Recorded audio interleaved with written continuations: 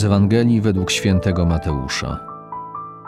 Jezus opowiedział tłumom tę przypowieść. Królestwo niebieskie podobne jest do człowieka, który posiał dobre nasienie na swojej roli. Lecz gdy ludzie spali, przyszedł jego nieprzyjaciel, nasiał chwastu między pszenicę i odszedł. A gdy zboże wyrosło i wypuściło kłosy, wtedy pojawił się ich chwast. Słudzy gospodarza przyszli i zapytali go: Panie, czy nie posiałeś dobrego nasienia na swej roli? Skąd więc wziął się na niej chwast?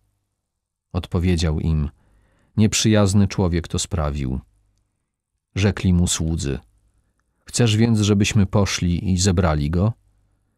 A on im odrzekł: Nie, byście zbierając chwast, nie wyrwali razem z nim i pszenicy pozwólcie obojgu róść aż do żniwa. A w czasie żniwa powiem żeńcom: Zbierzcie najpierw chwast i powiążcie go w snopki na spalenie. Pszenicę zaś zwieście do mego spichlerza. Przedłożył im inną przypowieść. Królestwo niebieskie podobne jest do ziarnka gorczycy, które ktoś wziął i posiał na swej roli. Jest ono najmniejsze ze wszystkich nasion – lecz gdy wyrośnie, większe jest od innych jarzyn i staje się drzewem, tak że ptaki podniebne przylatują i gnieżdżą się na jego gałęziach. Powiedział im inną przypowieść. Królestwo niebieskie podobne jest do zaczynu, który pewna kobieta wzięła i włożyła w trzy miary mąki, aż się wszystko zakwasiło. To wszystko mówił Jezus tłumom w przypowieściach, a bez przypowieści nic im nie mówił. Tak miało się spełnić słowo proroka. Otworzę usta w przypowieściach, wypowiem rzeczy ukryte od założenia świata. Wtedy odprawił tłumy i wrócił do domu. Tam przystąpili do niego uczniowie, mówiąc: Wyjaśnij nam przypowieść o chwaście.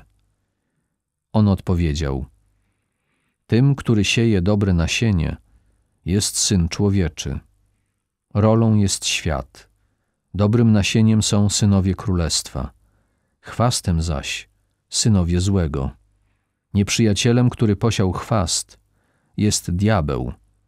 Żniwem jest koniec świata, a żeńcami są aniołowie. Jak więc zbiera się chwast i spala w ogniu, tak będzie przy końcu świata. Syn człowieczy pośle aniołów swoich Ci zbiorą z Jego królestwa wszystkie zgorszenia oraz tych, którzy dopuszczają się nieprawości i wrzucą ich w piec rozpalony. Tam będzie płacz i zgrzytanie zębów.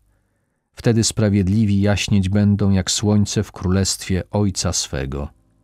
Kto ma uszy, niechaj słucha.